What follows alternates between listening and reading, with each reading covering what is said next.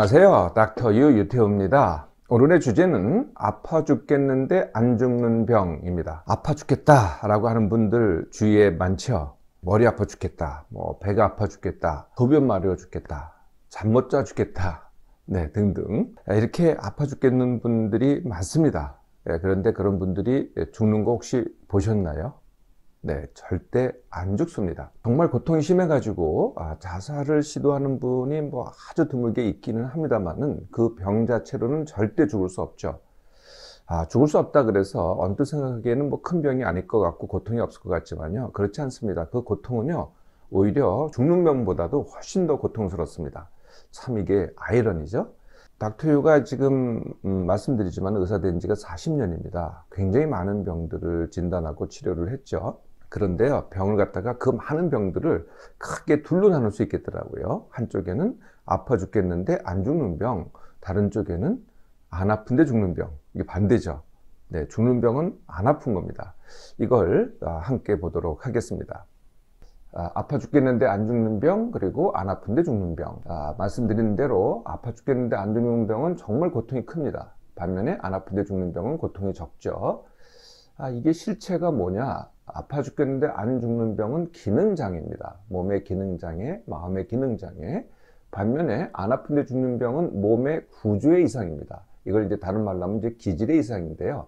예, 그래서 모든 검사는 이 구조나 기질을 보게 돼 있어요. 대부분의 검사는. 그러니까 검사에 아, 안 아픈데 죽는 병은 당연히 예, 검사 이상이 있죠.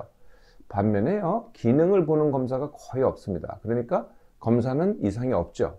네. 그리고 이 아파 죽겠는데 안 죽는 병은 뭐 거의 고질병입니다. 이게 낫질 않아요. 네. 약을 먹어도 그때만 반짝하고 또, 또 재발하고 또 재발하고 이렇게 되죠. 고질병입니다. 반면에 안 아픈데 죽는 병은 뭐 한 번이죠. 그걸로 끝이 나거나 아니면은 고치거나 이렇게 되는 겁니다. 절대 죽지 않고요. 이거는 죽고요. 불가되지도 않고요. 어, 불가되기도 하고요. 누가 주로 걸리느냐? 아파 죽겠는데 안 죽는 병 주로 여자와 청소년입니다. 네, 반면에 안 아픈데 죽는 병 주로 남자죠. 네, 그렇다고 뭐 남자가 아파 죽겠는데 안 죽는 병이 없는 건 아닙니다. 여자가 안 아픈데 죽는 병은 없는 건 아니지만은 이제 어느 쪽에 더 많이 걸리느냐의 문제죠. 잘 이해가 안 되시면은 제가 예를 하나 들어 드리겠습니다. 위궤양하고 기능성 위장 장애. 네, 위궤양 하면은 이제 내시경을 합니다. 내시경에서 이렇게 보면은 오유 위가 그냥 이만큼 헐었어요. 뻘겋고 예, 정상적이 아닙니다. 예, 그러면은 아, 검사하신 분이 놀라시죠. 어유 위가 크게 헐었습니다. 그래서 의사는 굉장히 놀랐는데요. 네, 그런데 당사자인 나는 별로 증상이 없습니다. 네, 위궤양에는 구조, 그러니까 기질의 변화가 있는데 나는 별로 아프지도 않고 증상도 별로 없고. 반면에 예, 기능성 위장장애는 내시경은 어떻습니까? 거의 뭐 아무런 이상이 없습니다. 예, 그리고 약간의 염증이 뭐 있을까 말까, 뭐 다른 소견이 있을까 말까. 근데 그 소견하고 증상하고는 전혀 무관하죠. 반면에 증상은요, 어마어마합니다. 뭐, 아파 죽겠고, 속이 뭐, 아, 매시 꺾고, 복통이 있고, 아, 뭐, 설사가 나고, 네, 네 그런 거죠. 네, 이렇게 이제, 에, 소견은 많은데도 불구하고 안 아프고, 소견이 별로 없는데도 불구하고 많이 아프고, 소견이 있는데도 불구하고 안 아픈 병들, 뭐, 고혈압, 당뇨, 콜레스테롤, 동맥경화, 암, 네. 그래서 끝이 될 때까지, 거의 막바지 될 때까지 아무 증상이 없습니다. 네, 그 전까지는 소견만 있고요. 예, 검사상에 이상만 있는 거죠. 안 아픈데 죽는 병, 아파 죽겠는데 안 죽는 병의 예, 차이입니다. 아파 죽겠는데 안 죽는 병, 아까 제가 검사 이상이 없다 그랬잖아요. 예, 그런데 당사자인 나는 너무 아프니까 이제 자꾸 불안해집니다. 혹시라도 아, 혹시 진단한 의사가 뭔가를 놓치고 있지 않을까? 뭐, 암이 이제 나한테 잘하고 있는데 이걸 놓친 거 아닐까? 하니까 더 불안해집니다. 예, 그러면 어떻게 되겠어요? 검사를 더 받으려고 그러죠. 또 검사를 이 검사해달라, 저 검사해달라 아니면은 한 병원에서만 검사하는 게 아닙니다. 이 병원, 저 병원 혹시 저 병원에서 혹시 잘못했을까봐 또 딴 병원에 갑니다. 예, 그래서 검사를 자주 여러 받게 되고요. 예, 두 번째는 아까도 잠깐 말씀드렸습니다만 치료해도 잘 안 듣잖아요. 네, 그래서 약을 먹어도 그때뿐입니다. 약이 됐든 뭐 한약이 됐든 무슨 어떤 건강 식품이 됐든 그때뿐입니다. 또 재발하고 또, 또 아프고 또 아프고 이렇게 되는 거죠. 또 다른 특징이 있어요. 그게 뭐냐면은 뭐 어느 한 군데 병이면은 뭐 위의 병이면 위만 아파야 되잖아요. 근데 위가 아팠다가 머리가 아팠다가 뒷목이 아팠다가 뭐 소변이 자주 마려웠다가 감기가 뭐 심하게 들었다가 이렇게 돌아다니면서 아픕니다. 네, 한 군데가 아픈 게 아니라 여러 군데가 아프다가 이제 아파 죽겠는데 안 죽는 병의 특징이죠. 또 다른 특징이 있습니다. 이게 에, 몸과 이제 마음의 기능 장애인데요. 이게 몸만만 문제가 되는 게 아니고요. 삶에도 문제를 일으킵니다. 이걸 한번 또 같이 보도록 하겠습니다. 다들 몸, 몸 또는 마음의 병 이렇게 생각을 하죠. 예, 그런데 삶에가 문제가 된다는 거예요. 삶이라는 건 뭘까요? 네, 일상, 또 일, 관계, 또 내가 사회에 대해서 무슨 기여를 한다면은 그게 그것까지 합쳐가지고 삶이 아니겠어요? 거기에 이 몸, 마음이 아프니까 어떻게 돼요? 이 삶의 지장을 받습니다. 네, 뭘 못하죠. 예, 그래서 이걸 삶의 병이라고 하죠. 그래서 어, 내가 아, 제대로 내 삶을 갖다가 아, 제대로 하지 못합니다. 그러면 어떻게 되겠어요?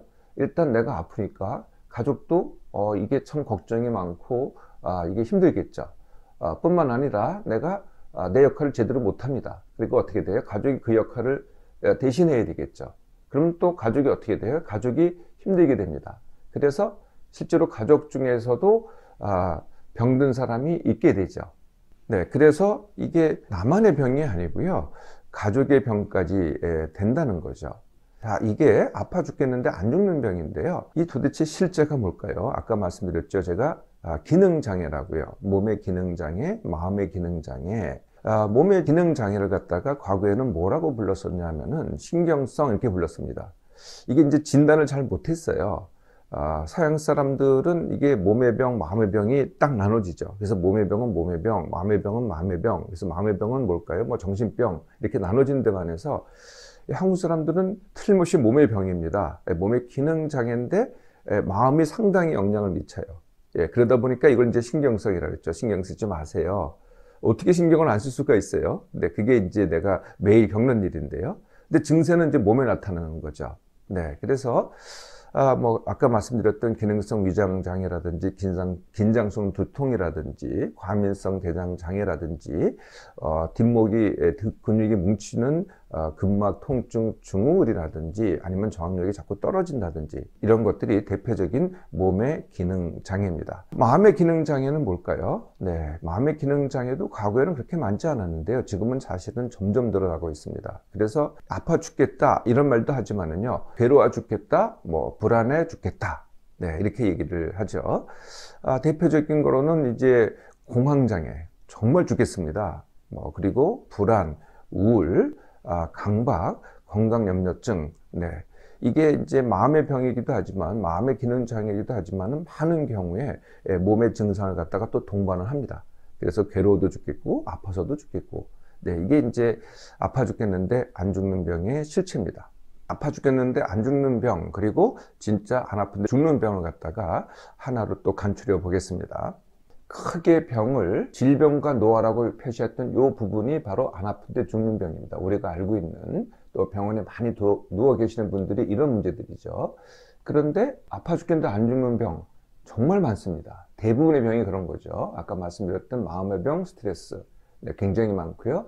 그 다음에 통증, 기능장애, 청소년의 병, 자녀의 병, 그리고 비만, 외모까지 네, 이게 이제 바로 아파 죽겠는데 안 죽는 병의 실체죠. 아파 죽겠는데 안 죽는 병 도대체 이게 왜 걸릴까요? 제가 늘 모든 병은 거의 원인이 같다라고 말씀드리잖아요. 병으로 보면 뭐 굉장히 종류가 많은데요. 원인은 정말 같습니다. 네, 그것이 뭐 여러 가지 다른 메커니즘을 통해서 몸의 반응을 통해서 다른 거를 만들어내긴 하지만은 원인은 같다는 거죠. 네, 첫 번째 원인이 뭘까요? 네, 바로 힘듦과 지나침입니다. 그러니까 뭐에 대해서 힘든가 지나치냐, 내 몸맘에 대해서 뭐가 지나치고요. 아, 또 내 일상에 대해서 그것이 놀기가 됐던 뭐 운동이 됐던 아, 모임이 됐던 네, 그게 또 지나치고요. 힘들고요. 아, 그리고 내 일이 지, 아, 힘들고 지나칩니다. 어떤 일이 됐던 내가 무슨 성취를 하려고 했던 뭐 학생들한테는 그게 공부가 되겠죠. 또 아, 요즘 정말 힘들고 지나친 게 관계 때문에 힘들고 지나칩니다. 예, 그리고 어떤 사람은요, 이 사회와 환경 때문에 또 힘들고 지나치죠. 이게 이제 제일 큰 원인이고요. 아, 두 번째 원인이 예민함입니다. 네. 그래서 똑같은 상황에서 굉장히 지나치게 또는 힘들게 반응을 하는 거거든요. 네. 이게 바로 또 예민함이죠. 네. 세 번째가요. 이렇게 힘들고 지나쳤으면 좀 쉬어야 되잖아요. 근데 쉬지를 못해요. 잘 자야 되잖아요. 잘 자지를 못해요. 네, 잘 자지 못하는 것 같다가 꼭 불면증이 아니더라도 비숙면이라고 합니다. 그리고 또 네 번째 원인이 뭐냐면은 생각을 많이 해요. 지나치게 생각을 많이 합니다. 그러니까 생각을 너무 하니, 많이 하니까 그리고 쉬지 못하니까 좀 쉬려고 하는 게 또 어디로 가요? TV, PC, 스마트폰으로 갑니다. 이게 쉬는 것 같지만은요, 뇌를 갖다 과로를 시키는 거거든요. 그러니까 계속 뇌를 과로를 시키는 거죠. 이게 이제 아파 죽겠는데 안 죽는 병의 원인이 되는 겁니다. 여성들한테는요, 만성 탈수, 그러니까 커피, 차, 음료만 마시는 것, 물을 안 마시고, 그러면은 내 몸에 물 부족이 옵니다. 한 2% 정도의 물 부족이 와서 내 몸이 기능을 하는데 허덕허덕 하면서 기능을 하거든요. 그래서 만성 탈수도 원인이 되고요. 운동이나 몸쓰기를 안 하는 분들은 그것도 또 원인이 됩니다. 네, 그리고 비만인 분들은 네, 그것도 또 원인이 되죠. 이렇게 원인을 아셨죠? 예, 그러면 완치 훈련도 쉽게 할 수 있지 않을까요? 네, 첫 번째가 내가 완치 원학입니다. 다른 구조의 병, 기질의 병은요, 뭐 의사가 할 역할이 많습니다. 다리가 부러졌다. 그러면 의사가 해야 되겠죠. 네, 뭐 암이 생겼다. 그러면 의사가 수술하든지 뭐 아, 항암요법을 하든지 이건 정말로 의사가 해야 됩니다. 그런데요, 아파 죽겠는데 안 죽는 병 아무리 약으로 치료하려고 그러고 식품으로 치료하려고 그러고 뭐 시술로 치료하려고 그래도 안 됩니다. 또 되돌아오고 또 되돌아오고 하거든요. 예, 누군가 뭐 가족이 아니면 남이 아니면 의사가 다른 전문가가 고쳐달라고 해봐야 내가 그대로 있는 건 절대로 못 고칩니다. 그래서 내가 완치 원학입니다. 아, 그런데요, 네, 당장 약을, 뭐, 약을 드시고 있다면 약을 끊으라는 건 아닙니다. 약이 그래도 증세는 도움이 되거든요. 당장의 증세는 도움이 됩니다. 완치를 못 시켜도. 그래서 현재 약은 그대로 이, 예, 이용을 하는 겁니다. 두 번째는 이것도 생각 훈련인데요. 그럼에도입니다. 아, 증상에도 불구하고, 예, 그럼에도 내가 완치하겠다는 거죠. 보통의 경우는 내가 이거 뭐 증상이 이렇게 심해서 아파 죽겠는데 내가 뭘 할 수 있겠느냐. 예, 그게 아니죠. 그래서 이 끝까지 못 고칩니다. 그게 아니라 그럼에도 내가 아, 완치를 하겠다. 그럼에도 불구하고 내가 일을 하겠다. 그럼에도 불구하고 내가 사람을 만나겠다. 그럼에도 불구하고 내가 일상을 하겠다. 현재 아프니까요. 아픈 상태에서 해야 되겠죠. 여기까지 이제 마음 훈련을 하고요. 그럼 이제 본격적으로 아, 이제 내 몸만 회복 훈련을 합니다. 예, 내 몸의 회복 훈련은 뭐 귀가 따갑도록 들으셨죠? 같은 시간에 일어나기, 같은 시간에 밥 먹기. 내가 아무것도 안 한다고 하더라도 내가 현재 깨어서 하고 있는 게 있다면은 그것을 10% 줄여서 하기. 예, 그럼 남은 시간은 뭐 하라고요? 네. 멍빈둥입니다. 쉼 훈련을 하는 거죠. 멍빈둥. 네. 이게 이제 가장 기본적인 훈련이고요. 예민한 사람은 아, 둔감 훈련, 쉬지 못하는 사람은 그리고 자지, 잘 자지 못하는 사람은 쉼 훈련, 숙면 훈련. 아, 그리고 아, 생각이 많거나 TV, PC, 스마트폰을 계속 보고 있는 분들은 생각 줄이기 훈련 아니면 TV, PC, 스마트폰 줄이기 훈련. 네. 그러면 어떻게 되겠어요? 이런 거 다 줄이면은요, 처음에는 막 안절부절하게 돼요. 어, 내가 뭘 못하는 것 같고, 그러다가, 아, 무료 심심 답답하게 돼요. 네. 그러다가 이 단계도 넘으면은 우울하게 돼요. 네, 여기까지 가야 이게 제대로 하는 거죠. 만성 탈수인 분들은 물 2리터 더 마시기. 네, 여기까지 하면은 이제 내 몸만 회복 훈련이 됩니다. 네, 내 몸 회복 훈련 하면서 가족들이 도움을 주면은 더 빨리 회복이 됩니다. 에, 그렇다고 대신 해주기가 아닙니다. 일단 이 병이 어떤 병이다라는 것을 갖다가 이해를 해야 되겠죠. 예, 그리고 아 그래서 고통이 너무 크구나 여기까지 지지는 해둬야 됩니다. 예, 그리고 이 병에 대해서 자꾸 연구를 하고, 어, 그게, 그것을 문제시하고 그러면 병이 더 커집니다. 네. 어, 그게 뭐 잘못될 수도 있어. 불구될 수도 있어. 잘못하면 그 죽을 수도 있어. 이렇게 가면은, 예, 점점 더 커지죠. 그래서 병과 문제에 대해서는 반응을 가급적이면은 동의해 주대요. 아, 그렇구나. 그렇지만, 아, 최소 반응을 하는 겁니다. 예, 그리고 뭐의 최대 반응? 조금이라도 아, 뭔가를 완치를 원하고 생각을 달리하고 아, 태도를 달리하고 행동을 달리합니다. 그럼 거기에 대해서만 크게 반응을 하는 거죠. 그걸 이제 최대 반응이라고 합니다. 에, 처음에는 역할을 못하니까 어떻게 돼요? 대신 해줬죠. 많이. 그런데 점점 점점 그 대신해 주기를 줄여가야 됩니다. 그렇다고 노골적으로 이제 네가 해 이렇게 하는 게 아니고요. 어떤 가든은 약 간 구렁이에 담 넣어 가듯이 조금씩 조금씩 내가 덜 하는 거죠. 내가 덜 하면 어떻게 돼요? 예, 점점 점점 더 하게 되겠죠. 예, 그러면은 이제 선순환이 일어납니다. 네, 그러면은 내가 조금 더 할 수 있게 되고요. 조금 더 할 수 있으면 불안이 줄어들고요. 생각이 줄어들고요. 생각이 줄어들면은 증상이 줄어듭니다. 이게 선순환이 되는 거죠.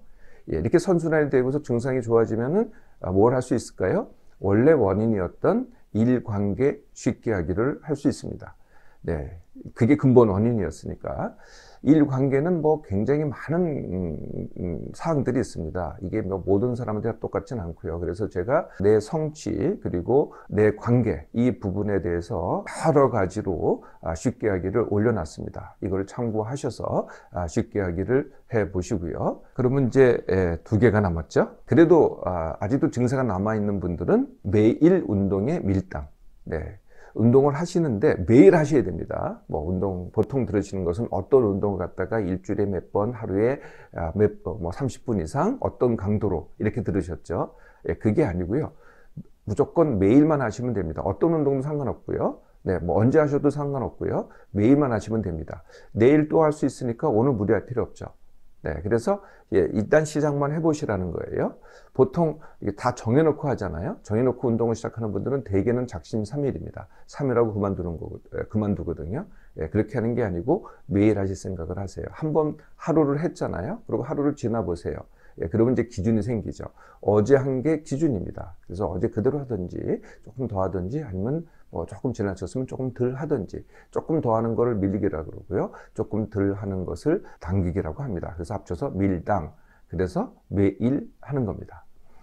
자, 그럼 하나 남았죠? 혹시 비만이신 분들은 네, 여기까지 한 다음에 몸이 많이 회복되면은 네, 그 다음에는 당연히 감량 다지기 훈련을 하시면 됩니다.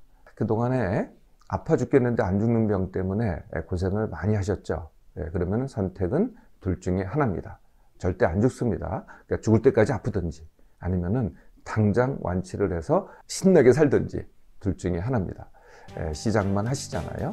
예, 그러면은 대부분의 분들은 3개월이면은 완치할 수 있습니다.